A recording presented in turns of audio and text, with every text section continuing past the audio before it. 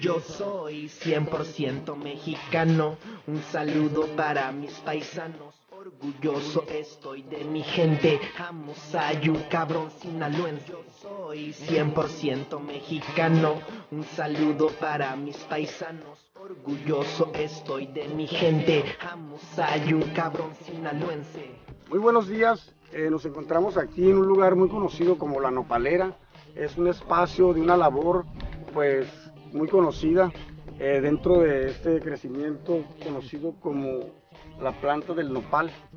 El nopal se encuentra aquí, precisamente en la nopalera, rumbo a San Joaquín, San Diego, camino principal y aquí de El Dorado, Sinaloa. Y vamos con un hombre emprendedor, trabajador, por muchos años, que al principio de empezar esta labor pues no fue creíble, pero hoy sabemos que ha evolucionado y tiene una gran responsabilidad al frente con el nopal. Vamos a pasar con él y vamos a conocerlo. Seguramente sabrán quién es.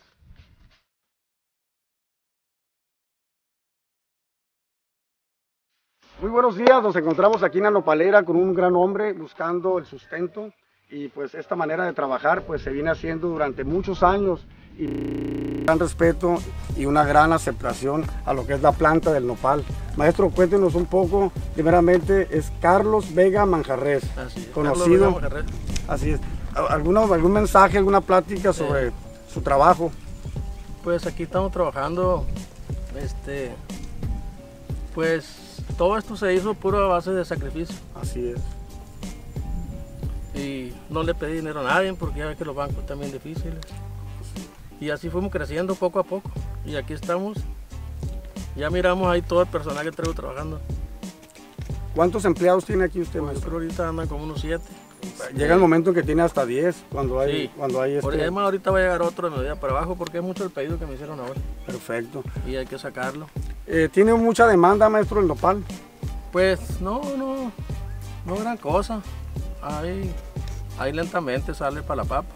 Pero está en contacto. De hecho, a veces nos ponemos a tirarlo, mira, ya está tirado porque pues faltan más compradores. De hecho, mucha gente no sabe que está esta nopalera aquí y, pues por eso no vienen. Pues hay que aprovechar ahorita que estamos aquí frente a la cámara, invitarlos a que aquí está una nopalera que tiene una gran producción, un gran crecimiento.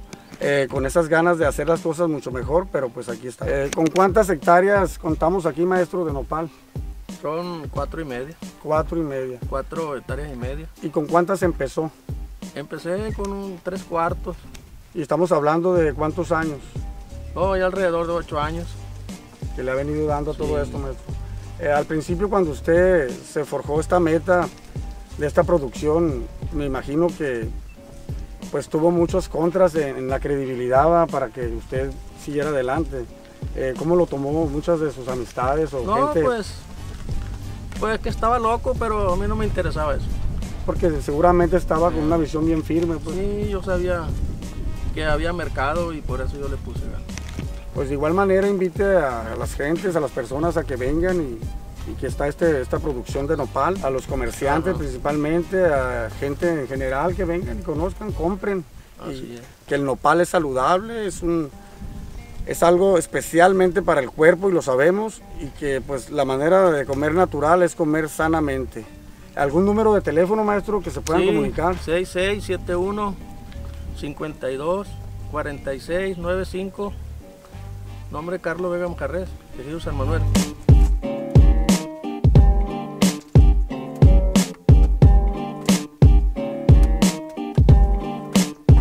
Cuéntenos, ¿a qué se debe tanto nopal tirado? A lo que se debe, lo que ve usted, tanto nopal tirado por la razón de que pues, pues no hay venta casi y pues necesita que haya venta, por eso muchas veces el nopal se tira. Se tira. Sí, para que la mata se desarrolle y, empiece a dar más nopal para cuando viene alguien a comprar, que haya nopal bueno, buena calidad, tira mucho nopal por la razón de que no hay, viene poco a comprar pues. Y ya se está manteniendo el nopal así tirándolo.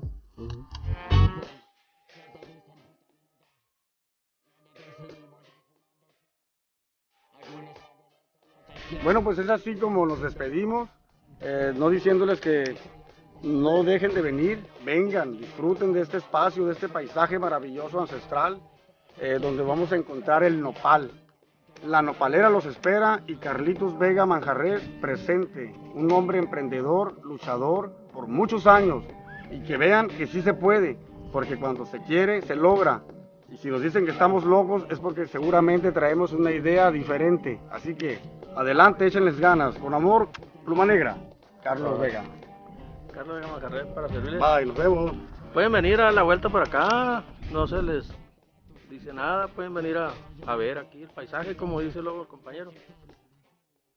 Pluma negra, Muchas gracias. ándale, muy bien.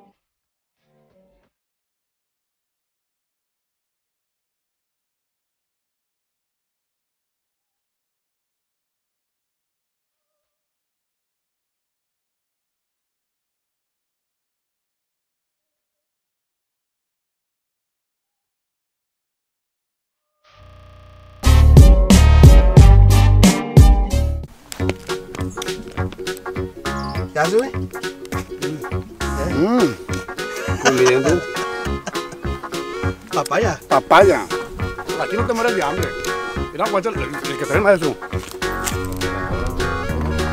Pasamos, vaya. Ah, ¿verdad? Papaya.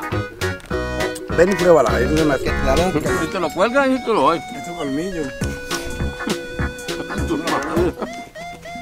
Pues aquí saboreando un manguito, manila precisamente. Si hubiera sido corriente también me lo aviento, claro. Pero estamos aquí en la nopalera con mi compa Carlos Vega Manjarres. ¿eh? El nopalero.